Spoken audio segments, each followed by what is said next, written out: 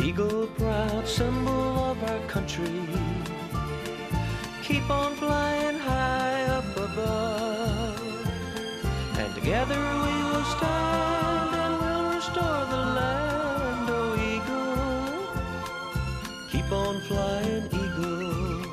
Welcome to Listen to the Eagle. It is Monday night in the great state of Mississippi. I am Brad Young, Executive Director of the Mississippi Wildlife Federation, coming to you live from the Reeds Metal Studios in downtown Jackson, Mississippi. I want to welcome everybody out there listening to us all across the state. We invite you to call in, tell us what's going on in your neck of the woods at 1 800 251 5891. 1 800 251 5891. Or if you are a C Spire inspired customer, as I am, you can give us a call at pound 444. Let us know what's going on with you in the world of hunting, fishing, and the great outdoors here in Mississippi. Always a lot going on in Mississippi. We uh, have no shortage of ample opportunity to get outside and enjoy the great outdoors. And uh, we're going to take a pause for a moment and take a phone call. We have a uh, a very special guest, Paul Ott. How are we, sir?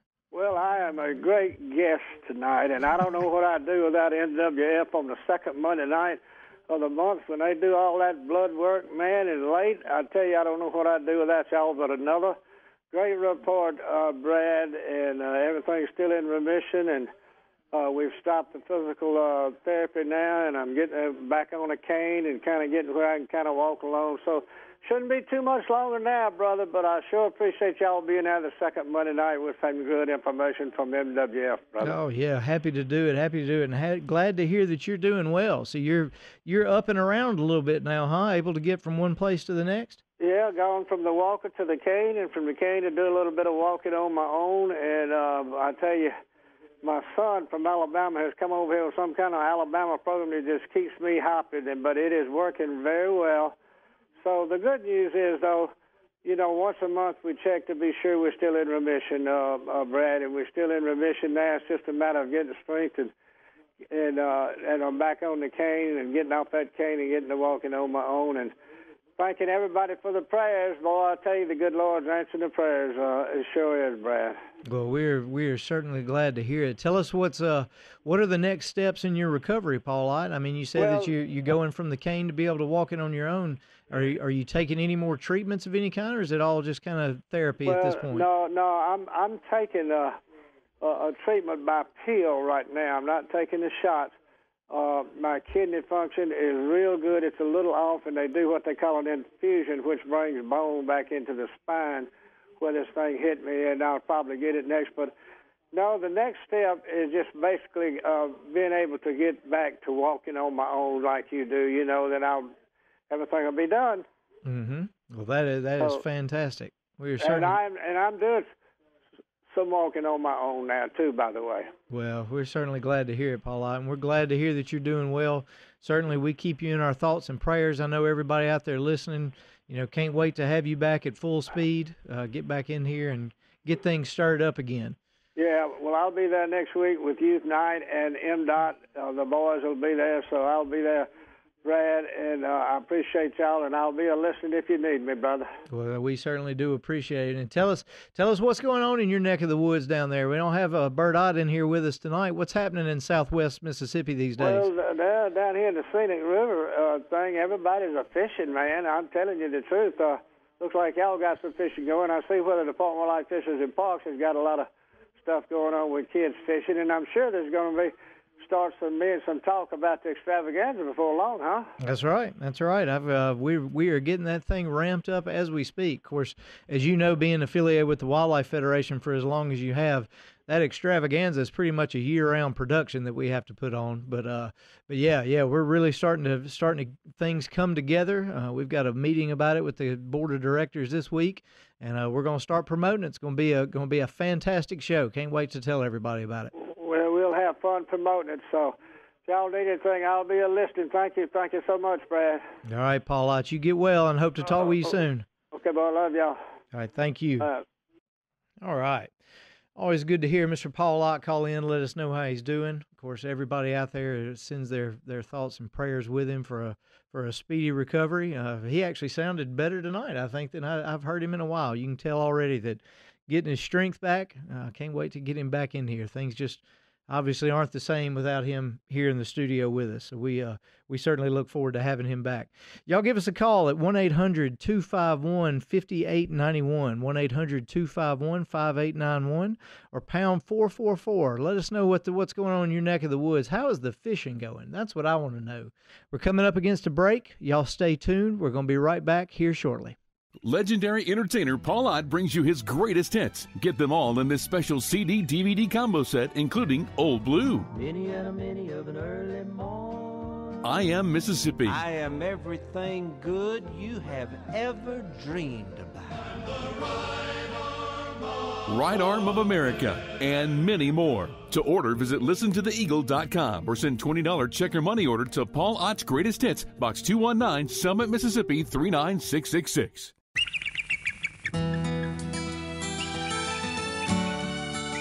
Welcome back to Listen to the Eagle. I'm Brad Young, Director of the Mississippi Wildlife Federation, subbing in for our good friend Mr. Paul Ott tonight.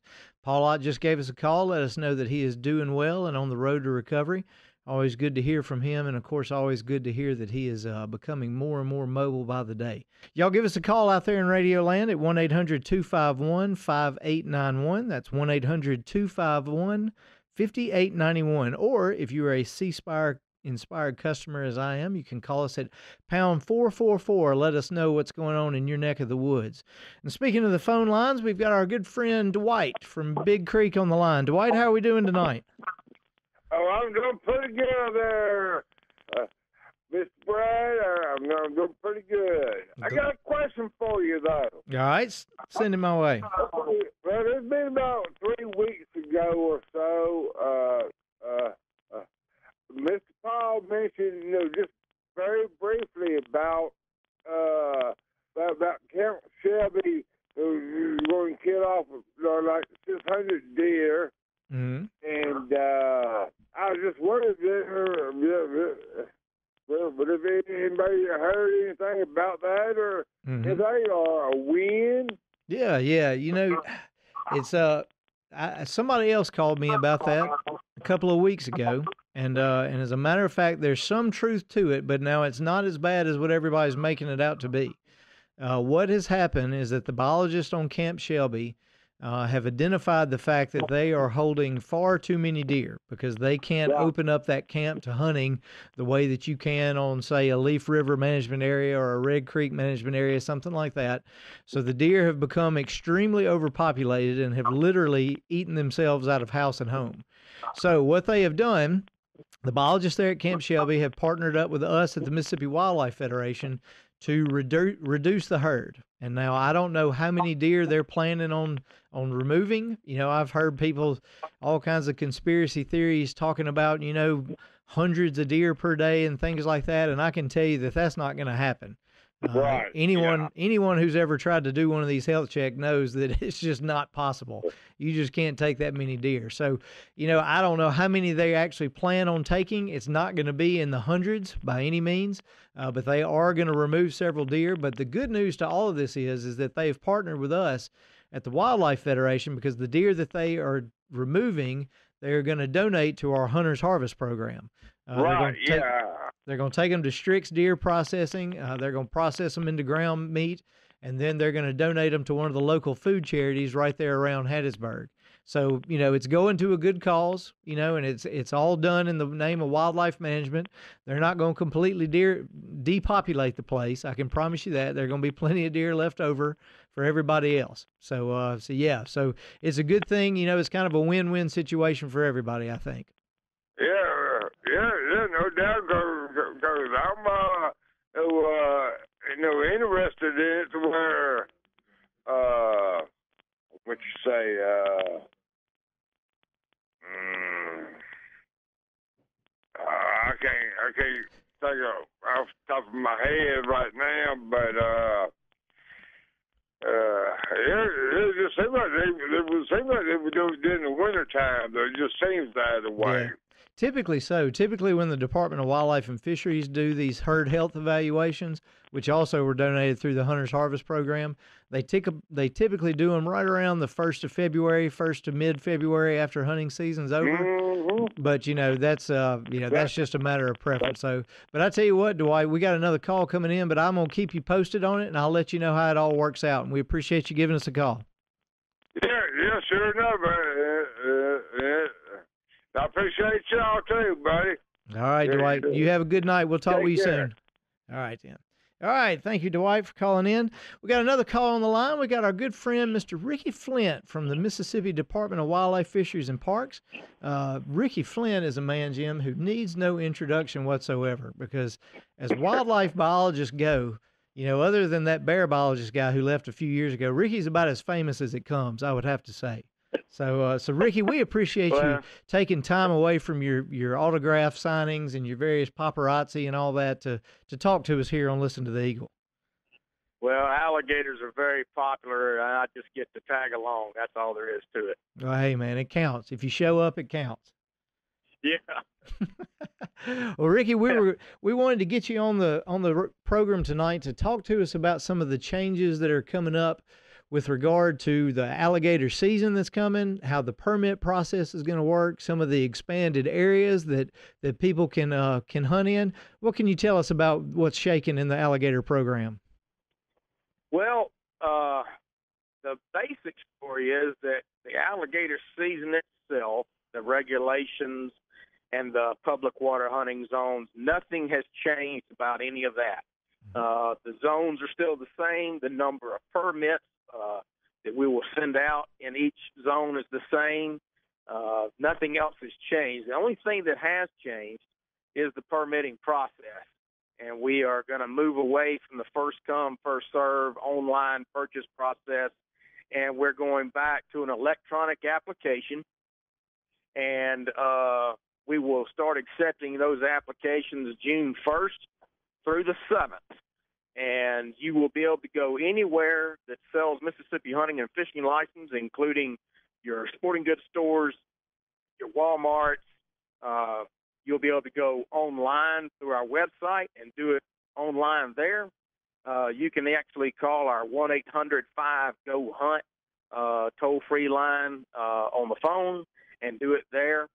And uh, you'll have seven days to do it. We're going to slow the whole process down.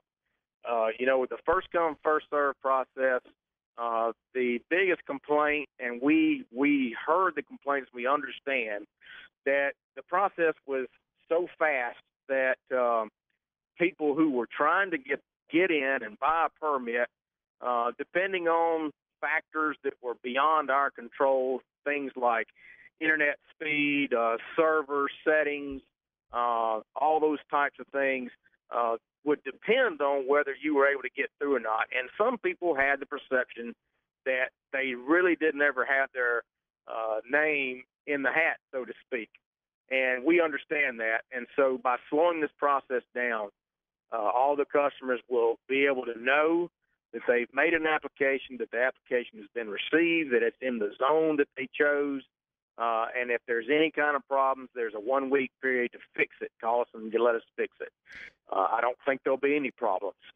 The, um, the So basically, fl- be Ricky, what you're saying then is that basically, so they'll have a week to put their name in the hat. So it's not going to be the big the big rush that it was before, and then the names will be drawn out of the hat after that. Exactly. There will essentially be seven drawings, one drawing in each of the seven zones after July, uh, June the 7th. I think we've got the first drawing slated to be around June 14th. And the winners uh, will be able, they will receive an email. All right, hey Ricky, that e- hey Ricky, yeah. hang on, we're coming up on a break. Stick with us. We'll be right back. Okay. Paul Ott's The Day of the Lord CD DVD combo set is our free gift to you and your family. The Day of the Lord includes songs like I Am That I Am, Don't Cry for Me, and They Could Not Stop His Love, as well as special sermons by Tom Lester, Dr. Larry LeBlanc, and others. Paul's special holy visits and the printed Don't Cry for Me poster are also included. Get yours by calling 1 800 684 9486 or by letter to New Day of the Lord Ministries Foundation, Box 219, Summit, Mississippi 39666.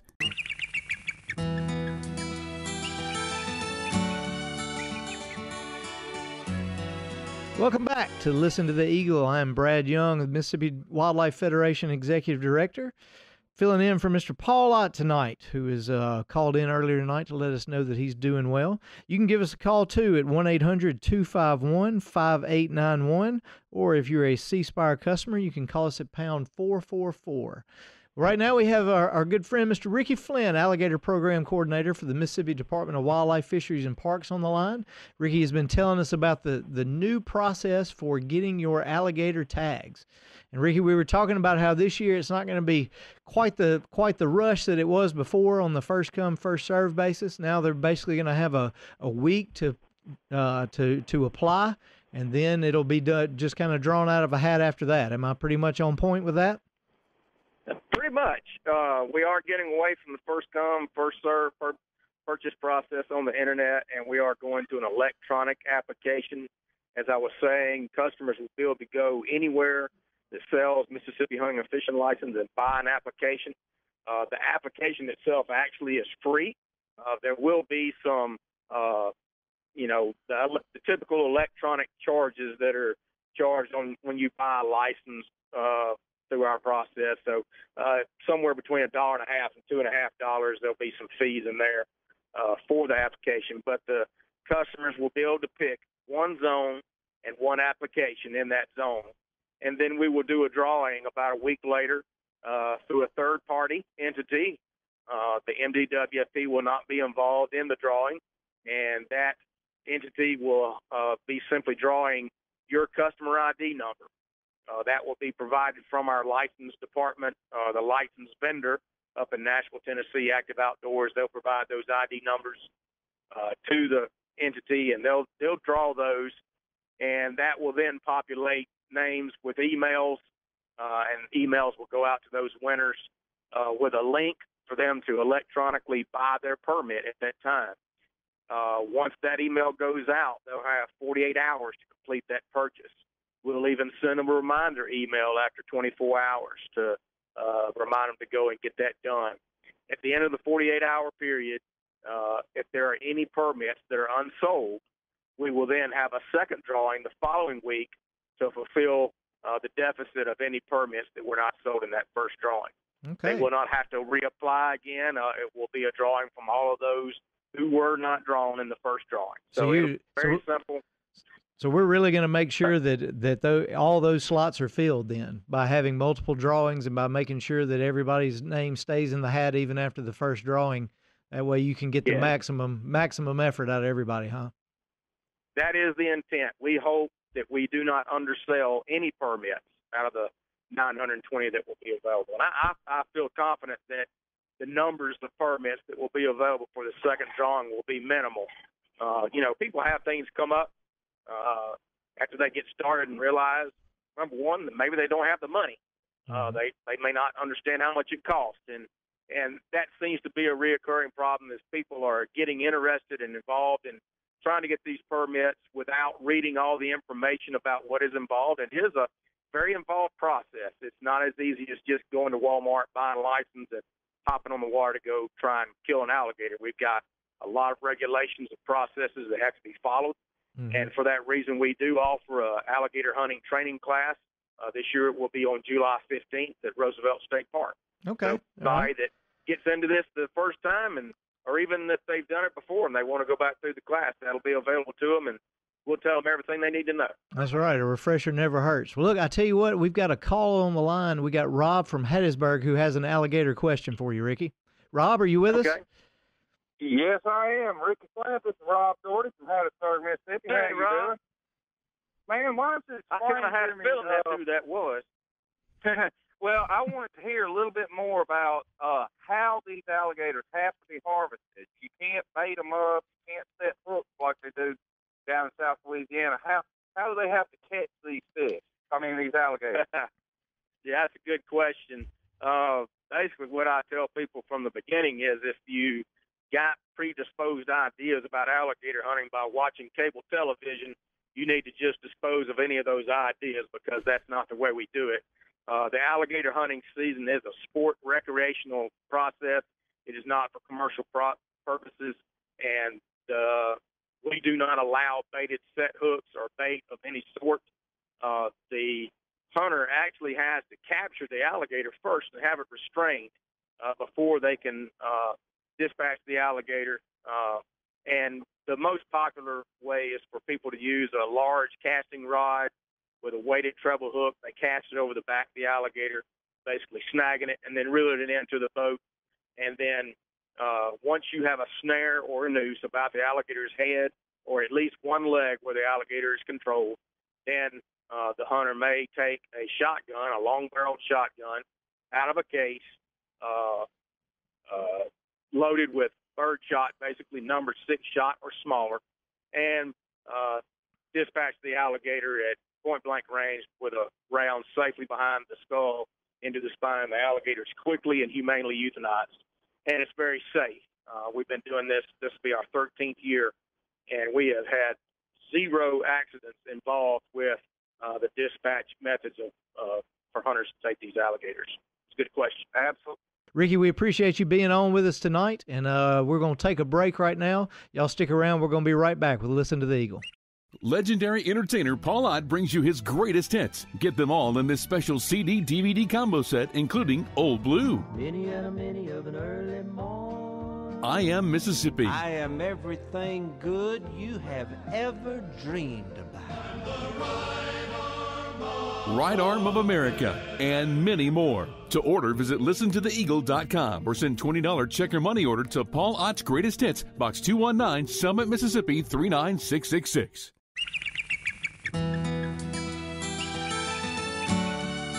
Welcome back to Listen to the Eagle. It is Monday night here in the Reeds Metal Studio in Jackson, Mississippi. Coming to you live. You can give us a call at 1 800 251 5891. This is going to be about our last segment for the night. But if you got something quick you wanted to talk to us about, 1 800 251 5891 or pound 444 if you're a C Spire customer, as I am. We've had some great calls tonight. We're glad to hear from our good friend Paul Ott, who I am poorly filling in for tonight. Glad to hear that he is up and doing well and will be back with us next week. We talked to Ricky Flynt, who talked about the new alligator registration uh, for the upcoming hunts. Uh, uh, we talked a little bit about some upcoming Wildlife Federation events. And while we're talking about the Wildlife Federation, I wanted to kind of kind of talk about sort of what the Federation is all about. You know, we are Mississippi's oldest nonprofit conservation organization founded by sportsmen who wanted to have a say in how our wildlife and natural resources are managed in this state.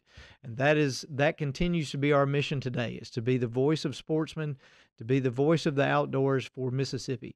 Uh, we serve as an umbrella organization. We have several other affiliate organizations that are affiliates of ours, everyone from the National Wild Turkey Federation, the Mississippi Hunting Dog Association, Coalition for Ethical Deer Hunting, and even the Rocky Mountain Elk Foundation. And uh, I wanted to take a quick moment to talk about the Rocky Mountain Elk Foundation. I had the pleasure to talk with Randy Waterhouse, who's uh, one of the directors there at Rocky Mountain Elk Foundation earlier today.